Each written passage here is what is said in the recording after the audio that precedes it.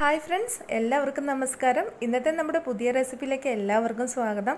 ഇന്ന് നമ്മൾ ഗോതമ്പ് പൊടി വെച്ചിട്ട് എളുപ്പത്തിൽ തയ്യാറാക്കിയെടുക്കാൻ പറ്റിയ നല്ലൊരു പാലപ്പത്തിന്റെ റെസിപ്പിയാണ് കേട്ടോ. നമ്മളെപ്പോഴും ചെയ്യുന്നത് തലേദിവസം രാത്രി കുതിർത്തിയെടുത്ത് മാവരച്ച് പുളിപ്പിക്കാനൊക്കെ ആയിട്ട് വെച്ച ശേഷമാണ് നമ്മൾ പാലപ്പം തയ്യാറാക്കുന്നത്. എന്നാൽ നമുക്ക് ഇതൊന്നും ചെയ്യാതെ തന്നെ നമുക്ക് ഗോതമ്പ് പൊടി വെച്ചിട്ട് പാലപ്പം അപ്പം തന്നെ റെഡിയാക്കി അപ്പം തന്നെ നമുക്ക് ഉണ്ടാക്കി കഴിക്കാവുന്ന നല്ലൊരു ഇൻസ്റ്റന്റ് പാലപ്പത്തിന്റെ റെസിപ്പിയാണ്. രാവിലെ എഴുന്നേറ്റ ഉടനെ നമുക്ക് അരമണിക്കൂറിൽ തയ്യാറാക്കി എടുക്കാൻ പറ്റിയ നല്ലൊരു പാലപ്പത്തിന്റെ റെസിപ്പിയാണ്. നമുക്കിത് അരമണിക്കൂർ മുക്കാൽ മണിക്കൂറിനുള്ളിൽ പെട്ടെന്ന് തന്നെ റെഡിയാക്കി എടുക്കാൻ പറ്റുന്ന നല്ലൊരു സോഫ്റ്റും ടേസ്റ്റും ആയിട്ടുള്ള നല്ലൊരു പാലപ്പത്തിന്റെ റെസിപ്പിയാണ്.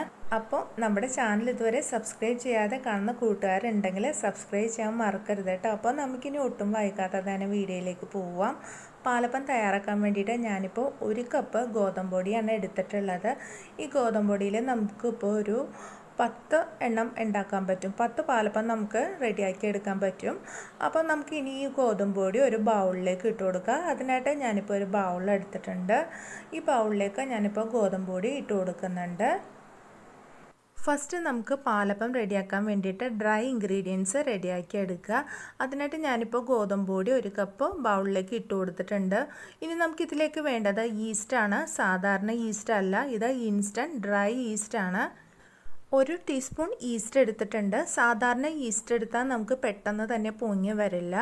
ഇൻസ്റ്റന്റ് ഡ്രൈ ഈസ്റ്റ് എടുക്കുകയാണെന്നുണ്ടെങ്കിൽ നമുക്ക് പെട്ടെന്ന് തന്നെ ഇത് പൊങ്ങി വരാൻ സഹായിക്കുന്നതാണ് കേട്ടോ.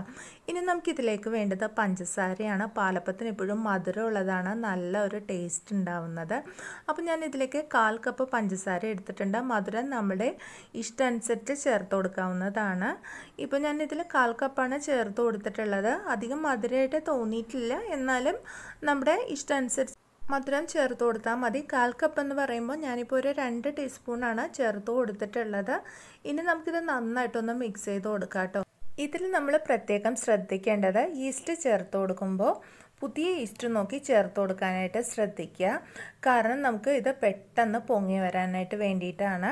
പഴയ ഈസ്റ്റൊക്കെ ചേർത്ത് കൊടുക്കുമ്പോൾ ചിലപ്പോൾ ഇത് പൊങ്ങി വരാനുള്ള ചാൻസ് കുറവാണ്. പുതിയ ഈസ്റ്റ് ആകുമ്പോൾ നമുക്ക് ധൈര്യമായിട്ട് ചേർത്ത് കൊടുക്കാം. ഇൻസ്റ്റന്റ് ഡ്രൈ ഈസ്റ്റ് അപ്പോൾ അതാകുമ്പോഴേക്കും നമുക്ക് പെട്ടെന്ന് തന്നെ റെഡിയാക്കി എടുക്കാൻ പറ്റുന്നതാണ്. ഇപ്പം ഞാനിത് നന്നായിട്ട് മിക്സ് ചെയ്ത് എടുത്തിട്ടുണ്ട് ഇനി നമുക്കിത് എളുപ്പത്തിൽ തന്നെ തയ്യാറാക്കി എടുക്കാം. അതിനായിട്ട് ഞാനിപ്പോൾ ഒരു മിക്സിയുടെ ജാർ എടുത്തിട്ടുണ്ട്. ഇതിലേക്ക് നമുക്ക് ഒന്നേകാൽ കപ്പ് വെള്ളം ഒഴിച്ചു കൊടുക്കുക. വെള്ളം നമുക്ക് സാധാരണ വെള്ളമല്ല. ഇളം ചൂടുവെള്ളം നമുക്ക് ഒഴിച്ചു കൊടുക്കുക. പെട്ടെന്ന് തന്നെ നമ്മുടെ ഈ വെള്ളയപ്പം പൊങ്ങി വരാൻ വേണ്ടിയിട്ടാണ് നമ്മൾ ഇളം ചൂടുവെള്ളം ഒഴിച്ചു കൊടുക്കുന്നത്. ഇപ്പോൾ ഞാനിതിൽ ചൂടുവെള്ളം ഒഴിച്ചു കൊടുത്തിട്ടുണ്ട്. ഇനി നമുക്കിതിലേക്ക് നമ്മൾ നേരത്തെ റെഡിയാക്കി വെച്ചിട്ടുള്ള ഡ്രൈ ഇൻഗ്രീഡിയൻസ് നമുക്ക് ഈ മിക്സിയുടെ ജാറിലേക്ക് കുറേശ്ശെ കുറേശ്ശെയായിട്ട് ചേർത്ത് കൊടുക്കാവുന്നതാണ്. ഞാനിപ്പോൾ ഇത് മുഴുവനായിട്ടും ചേർത്ത് കൊടുത്തിട്ടുണ്ട്. ഇനി നമുക്കിതിലേക്ക് വേണ്ടത് തേങ്ങയാണ്. ഞാനിപ്പോൾ അര കപ്പ് തേങ്ങ എടുത്തിട്ടുണ്ട്. അത് നമുക്കിനി മിക്സിയുടെ ജാറിലേക്ക് ചേർത്ത് കൊടുക്കാം.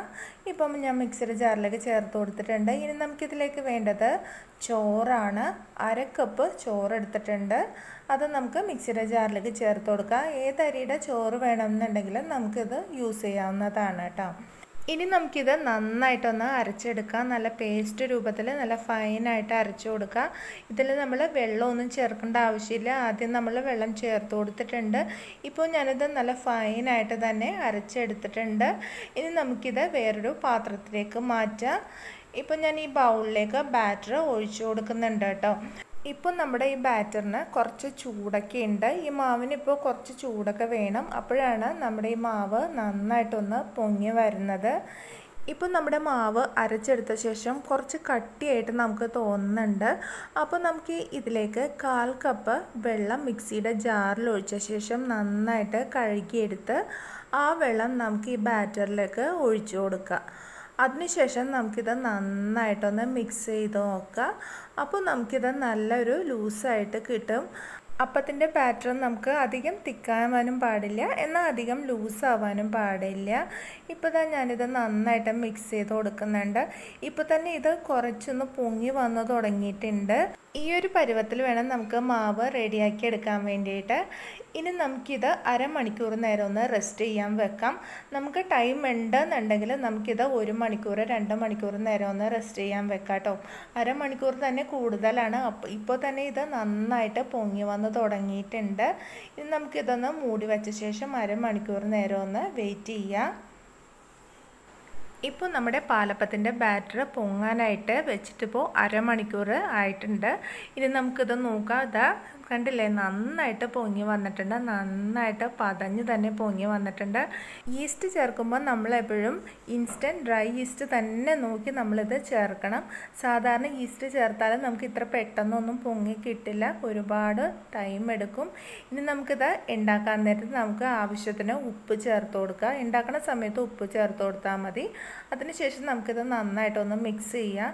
ഇപ്പോൾ ഇത് നന്നായിട്ട് പതഞ്ഞ് പൊങ്ങി വന്നുകൊണ്ടിരിക്കുകയാണ്. നമ്മൾ ഇതിൽ പ്രത്യേകം ശ്രദ്ധിക്കേണ്ടത് പഴയ ഈസ്റ്റ് ചേർത്ത് കൊടുക്കാതിരിക്കുന്നതാണ് നല്ലത്. പുതിയ ഈസ്റ്റ് വേണം നമ്മൾ ഇതിൽ ചേർത്ത് കൊടുക്കാൻ വേണ്ടിയിട്ട്. സാധാരണ ഈസ്റ്റ് അല്ല ഇൻസ്റ്റന്റ് ഡ്രൈ ഈസ്റ്റാണ് നമ്മൾ ഇതിൽ ചേർത്ത് കൊടുക്കുന്നത്. അതുകൊണ്ടിട്ടാണ് നമുക്ക് ഇത്ര പെട്ടെന്ന് തന്നെ ഇത്രയും നന്നായിട്ട് പതഞ്ഞ് പൊങ്ങി വന്നത്. ഇപ്പോൾ ഇത് പാത്രം ഭയങ്കരമായിട്ട് നിറഞ്ഞ് പതഞ്ഞ് പൊങ്ങി വന്നിട്ടുണ്ട്. അതുകൊണ്ട് നമുക്കിത് വേറൊരു പാത്രത്തിലേക്ക് മാറ്റാം. ഞാനിപ്പോൾ ഈ പാത്രത്തിൽ എടുത്തിട്ടുണ്ട്. ഇനി നമുക്ക് നന്നായിട്ടൊന്ന് മിക്സ് ചെയ്ത് കൊടുക്കുക ഇപ്പോൾ ഇതാ കണ്ടില്ലേ നന്നായിട്ട് പതഞ്ഞ് പൊങ്ങി വന്നുകൊണ്ടിരിക്കുകയാണ്. മാവിൽ നമ്മൾ വെള്ളം ചേർക്കുമ്പോൾ നോക്കിയിട്ട് വേണം ചേർക്കാനായിട്ട്. ഞാനിപ്പോൾ ഇതിൽ ടോട്ടലായിട്ട് ചേർത്തേക്കുന്നത് ഒന്നര കപ്പ് വെള്ളമാണ് ചേർത്ത് കൊടുത്തേക്കുന്നത്. അതും നമ്മൾ ഇളം ചൂടുവെള്ളം നോക്കിയിട്ട് വേണം ചേർക്കാനായിട്ട്. അധികം ചൂടൊന്നും വേണ്ട ഇളം ചൂട് മാത്രം മതി. ഈ കാര്യങ്ങളൊക്കെ ശ്രദ്ധിച്ചാൽ തന്നെ നമുക്ക് ഗോതമ്പ് പൊടി കൊണ്ട് നല്ല സോഫ്റ്റും ടേസ്റ്റ് ആയിട്ടുള്ള പാലപ്പം റെഡിയാക്കി എടുക്കാൻ പറ്റും. ഇനി നമുക്ക് പാലപ്പം ഉണ്ടാക്കി നോക്കാം. അതിനായിട്ട് ഞാനിപ്പോൾ പാലപ്പത്തിന്റെ ചട്ടി അടുപ്പത്ത് വെച്ചിട്ടുണ്ട്. ഇനി നമുക്കിതിലേക്ക് മാവ് ഒഴിച്ചു കൊടുക്കാം. ഒരു കയ്യിലെ മാവാണ് ഞാൻ ഒഴിച്ചു കൊടുക്കുന്നത്. ഫ്ലെയിം എപ്പോഴും മീഡിയം ഫ്ലെയിമിൽ വെച്ചാൽ മതി കേട്ടോ അപ്പോൾ നമുക്ക് കറക്റ്റായിട്ട് കിട്ടും.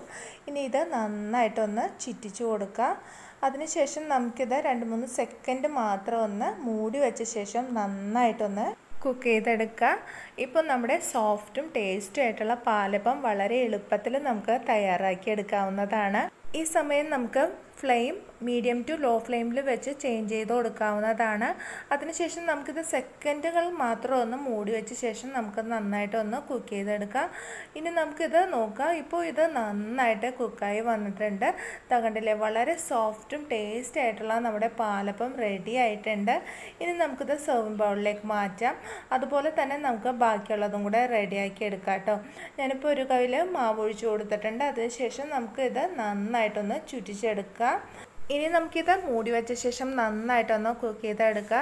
രണ്ട് മൂന്ന് സെക്കൻഡ് നേരം മാത്രം നമുക്കിത് മൂടി വെച്ച ശേഷം നന്നായിട്ട് കുക്ക് ചെയ്തെടുക്കുക. ഇപ്പോൾ ഇതാ കണ്ടില്ലേ നമ്മുടെ പാലപ്പം വളരെ എളുപ്പത്തിൽ തന്നെ നമുക്ക് റെഡിയായി കിട്ടിയിട്ടുണ്ട്. ഇത് നമുക്ക് തയ്യാറാക്കിയെടുക്കാൻ അധികം ടൈമൊന്നും വേണ്ട.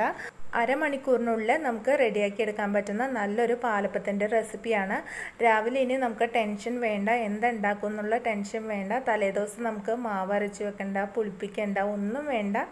അപ്പോൾ തന്നെ നമുക്ക് അരമണിക്കൂറിനുള്ളിൽ എളുപ്പത്തിൽ റെഡിയാക്കി എടുക്കാൻ പറ്റുന്ന നല്ലൊരു പാലപ്പത്തിന്റെ റെസിപ്പിയാണ്. അപ്പോൾ ഇത് തീർച്ചയായിട്ടും ട്രൈ ചെയ്ത് നോക്കണം.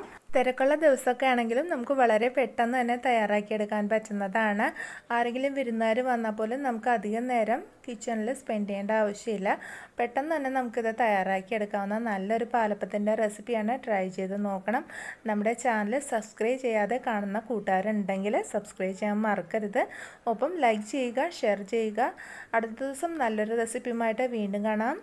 നന്ദി നമസ്കാരം.